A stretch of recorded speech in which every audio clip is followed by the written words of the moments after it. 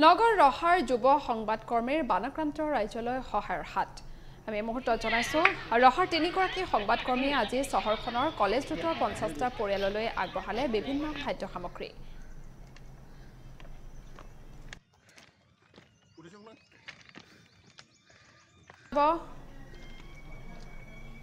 আৰু এই সম্পৰ্কত আমাক অধিক জনাব আমাৰ ৰহাৰ সংবাদদাতা কুঞ্জ কাকতিয়ে নিশ্চিতভাৱে ক'ব লাগিব ৰহাৰ তিনিগৰাকী উদীয়মান যুৱ সংবাদকৰ্মীৰ ব- বন্যতাৰ প্ৰতি সহায়ৰ হাত। এক মহান পদক্ষেপ ৰহাৰ তিনিগৰাকী উদীয়মান যুৱ সংবাদকৰ্মীৰ বৰ্তমান মই ৰহাৰ কলেজ ৰোডত উপস্থিত আছোঁ আৰু ৰহাৰ ৰহা পৌৰসভাৰ এক নং ৱাৰ্ডৰ বৰ্তমানৰ পৰিৱেশ মোৰ সতীৰ্থগৰাকীয়ে দেখুৱাই আছে।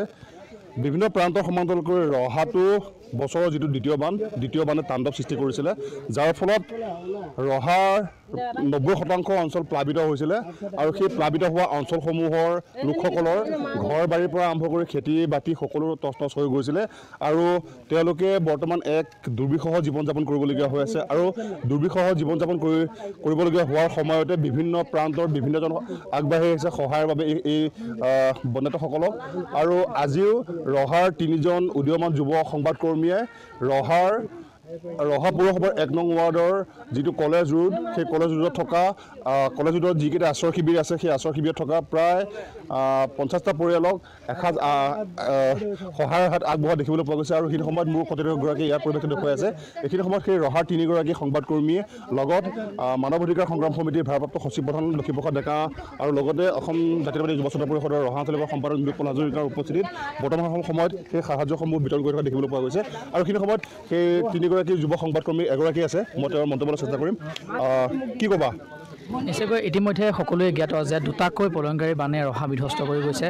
বহু লোকে ঘৰ বাৰী হেৰুৱাই এতিয়া ওখ ঠাইত মাথাউৰি হওক ৰেল লাইন হওক বিভিন্ন ওখ ঠাইত এতিয়াও আশ্ৰয় শিবিৰ বা বান শিবিৰ পাতি তেওঁলোকে আশ্ৰয় লৈ আছে। আৰু এইখিনি সময়ত আমি কেৱল বাতৰি পৰিৱেশন কৰি থাকিলে নহ'ব যদিও আমি ধাৰাবাহিকভাৱে বাতৰি পৰিৱেশন কৰি আহিছোঁ ৰাইজৰ দুখ দুৰ্দশা প্ৰশাসনৰ দৃষ্টিগোচৰ কৰি আহিছোঁ। কিন্তু অকল আমি সেয়া কৰিলেও নহ'ব আমি বৰ্ণাঢ্যৰ বাবে আমাৰ নিজৰ প্ৰচেষ্টাৰে মোৰ সহযোগী মৃণাল তামুলী আছে মোৰ সহযোগী ৰাজ আছে।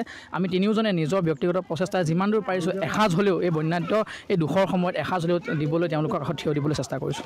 নিশ্চয়কৈ এক সুন্দৰ সুন্দৰ পদক্ষেপ এক মহান পদক্ষেপ কিয়নো এই বিভিন্ন প্ৰান্তত ৰহাৰ বন্যতাসকলো এতিয়াও বহু লোক তেওঁ নিজৰ আপোন ঘৰখনলৈ যাব পৰা নাই। গতিকে এতিয়া- এনেদৰে পদপদ হওক বা বিভিন্ন ওখ ঠাইত আশ্ৰয় গ্ৰহণ কৰি আছে আৰু এই ওখ ঠাই বা বিভিন্ন আশ্ৰয় শিবিৰত থকা লোকসকলে বিভিন্ন সমস্যাৰ সন্মুখীন হৈ আহিছে। বিশেষকৈ খোৱাৰ খাদ্যৰ ক্ষেত্ৰত হওক বা এটুপি বিশুদ্ধ খোৱা পানীৰ ক্ষেত্ৰতে হওক বিভিন্ন সমস্যাৰ সন্মুখীন হৈ আহিছে। আৰু তেনে সময়ত এই ৰহাৰ তিনিগৰাকী উদীয়মান যুৱ সংবাদকৰ্মীৰ যি প্ৰচেষ্টা সেয়া সঁচাকৈ উল্লেখনীয় আৰু বৰ্তমান সময়ত মানৱ অধিকাৰ সংগ্ৰাম সমিতিৰ ভাৰপ্ৰাপ্ত সচিব প্ৰধান লক্ষীপ্ৰসাদ ডেকা আছে তেওঁ মই মন্তব্য লোৱাৰ চেষ্টা কৰিম। কি ক'ব? আজি যুৱ সাংবাদিক অসীম ছাত্ৰী মৃণাল তামুলী আৰু ৰাজ কলিতাই যিটো প্ৰচেষ্টা হাতত আগবঢ়াইছে আমি সঁচাই নথৈ সুখীত হৈছোঁ। আৰু মোক ক'লে যে আপুনিও আহক আমি মাছৰ তৰফৰ পৰা যিমান পাৰোঁ সহায় কৰক। আমিও যিমান মানৱ অধিকাৰ সংগ্ৰাম সমিতিৰ তৰফৰ পৰা আমি সহায়ৰ হাত আগবঢ়াইছোঁ। আৰু আমি